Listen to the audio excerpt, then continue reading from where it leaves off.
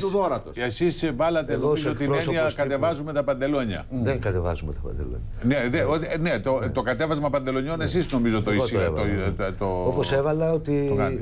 μιλάει ως εκπρόσωπος της Τρόικα και όχι ως κοινοβουλευτικός εκπρόσωπος της Νέας Δημοκρατίας. Ε, του το είπαμε κι εμείς Διότι ε, ζητάει παράλογα πράγματα.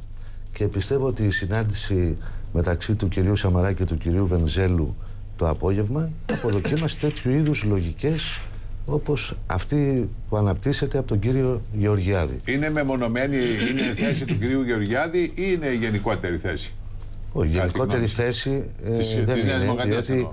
διότι, κοιτάξτε να δείτε, ε, η διαπραγμάτευση αυτή είναι πάρα πολύ δύσκολη και πάρα πολύ πολύπλοκη. Και ε, στο εσωτερικό της, κυ- της εγκυβέρνησης γίνεται μια ουσιαστική και σε βάθος συζήτηση για διάφορα θέματα. Από εκεί και Εσείς πέρα... είχατε, κύριε Καρίδη, εσείς είχατε αποκλείσει ως Πασόκ μερικά θέματα. Και η όπως το κυβέρνηση τα lockout, έχει αποκλείσει αυτά. Ναι, το ναι, Πασόκ όχι, όχι, είχε, εσείς ως το Πασόκ. Πασόκ είχε αποκλείσει. Όπως το lockout, είχε αποκλείσει το- ότι την δεν υπάρχει. απεργία. Ακούστε με, δεν υπάρχει δημοσιονομικό έλλειμμα. Δεν πρόκειται να πάμε ξανά σε λογικές λιτότητας. Εντάξει. Άρα να μειώσουμε Σύμφωνα. Τα είπε ο κ. συντάξει Βενιζέλος αυτά. και να αυξήσουμε όρια ηλικίας.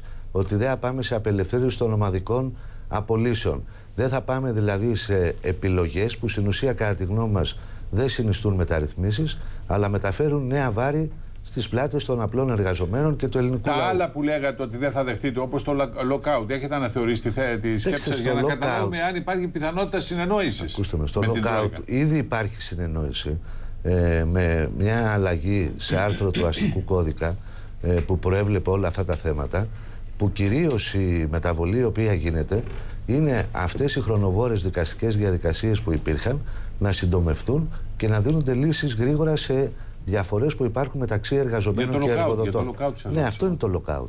Το lockout τι είναι κύριε Οικονομία; Είναι Το ότι- δέχεστε τώρα, Είναι, το lockout? σας είπα όχι. Σας Ε, είπα α, ότι γίνεται μια μεταβολή. Το ρεπορτάζ λέει ότι το δέχεται η κυβέρνηση, γι' αυτό σας ρωτάω. Σας είπα, δεν υπάρχει τέτοιο θέμα από την κυβέρνηση.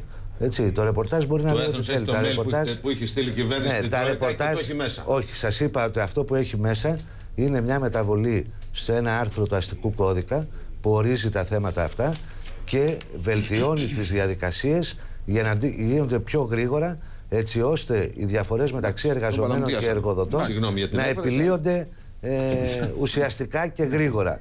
Σας θυμίζω το φαινόμενο της